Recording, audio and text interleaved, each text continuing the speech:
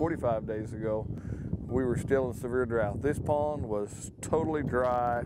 There was a little bitty puddle of water in the center of it that didn't amount to anything. The cows quit drinking it because it was so bad.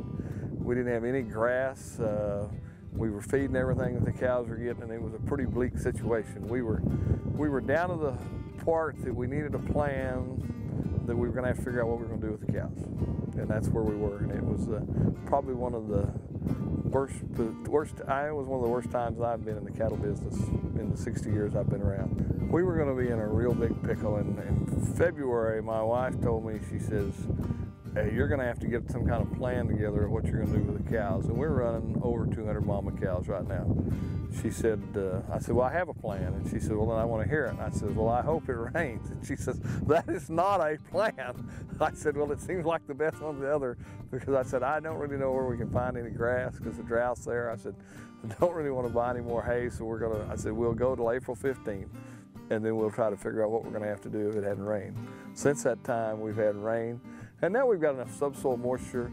We're going to have grass at least through July. There should be some hay to put back to feed these cows with next winter. Uh, and those things will make it easier and it'll make the decisions easier to make too.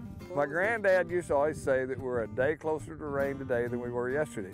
Then the other thing that, that uh, my granddad and even my dad had always told me for years and years that if it rains on Easter Sunday, you can expect it to rain the next four weeks.